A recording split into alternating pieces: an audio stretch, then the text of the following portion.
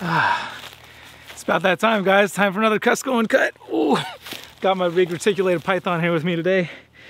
And uh, for those of you watching for the first time, I do three videos a week. Two of them edited masterpieces, one of them uncut. And it's that time.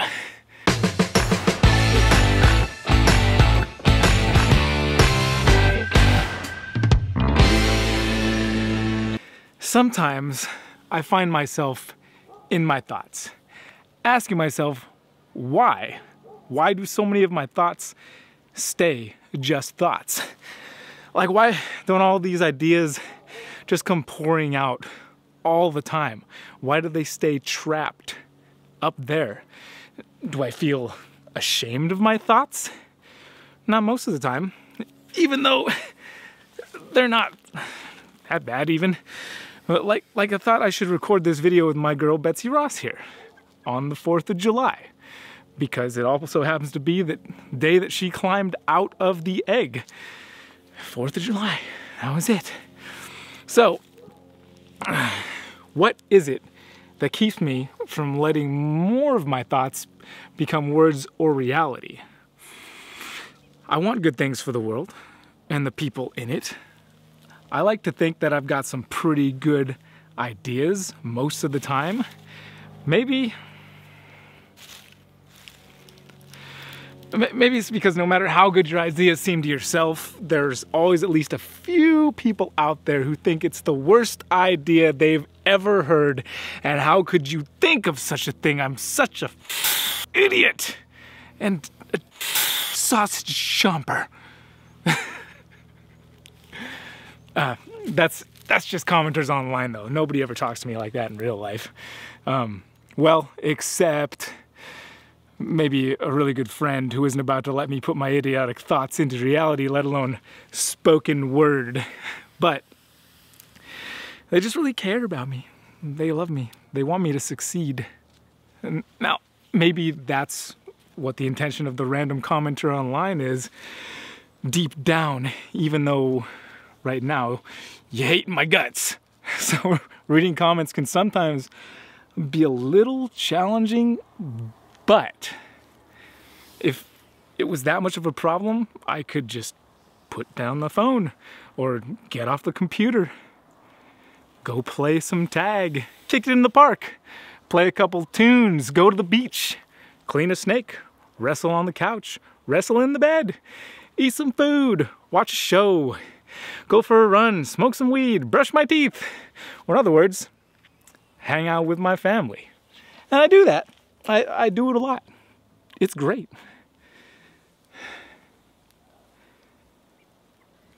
But, you know, there are, there are two things I think every parent on earth will agree with me on uh, when it comes to kids and raising kids. Whoa. One, they're grown before you know it. One day you're wrapping them in a blankie.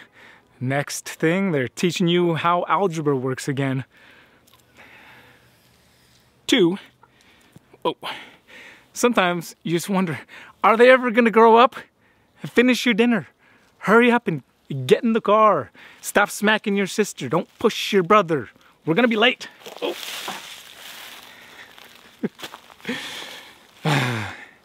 Actually, I, I, don't I don't wonder about that. I, I hope they stay small.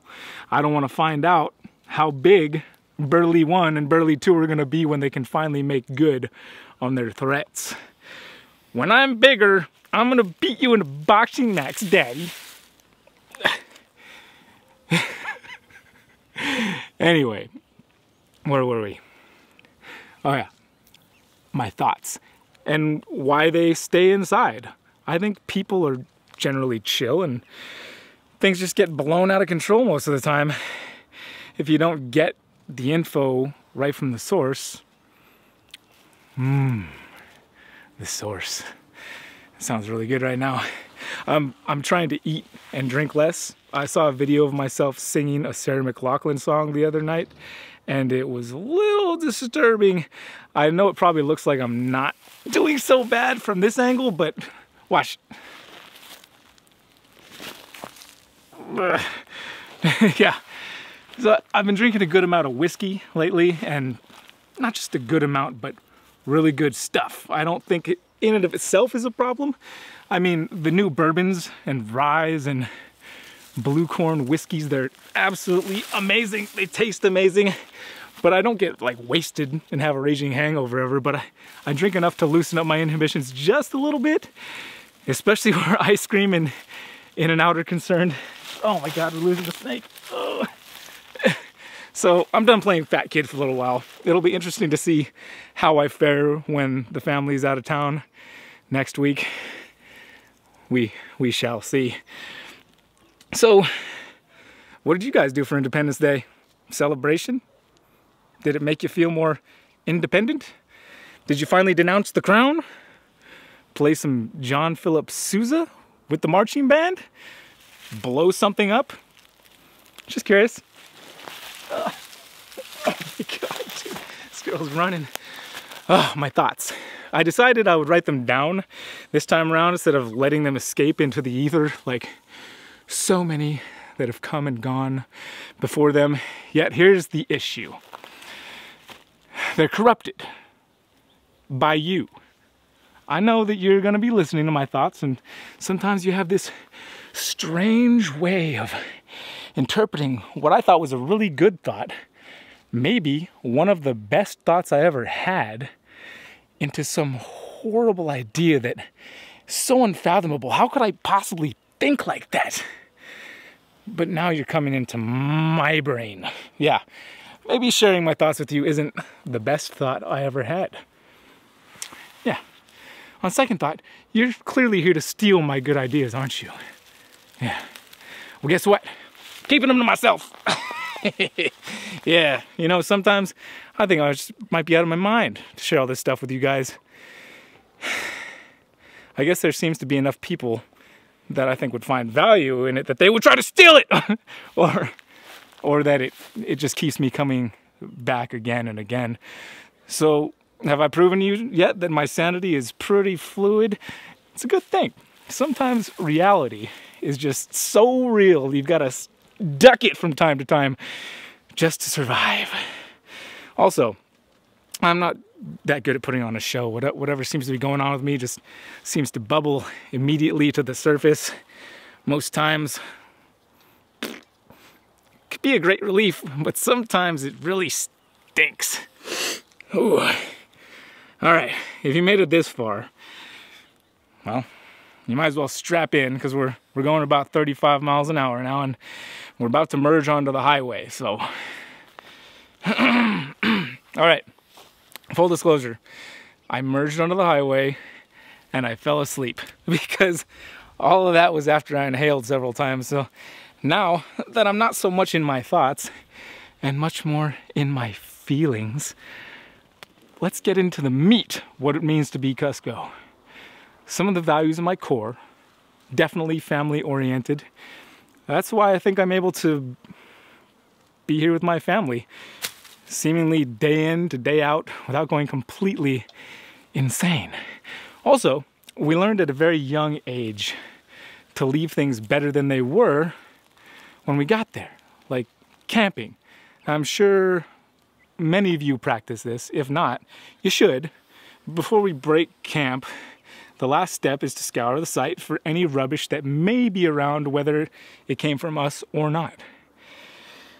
I feel like that practice instilled in me the desire to make everywhere a little better.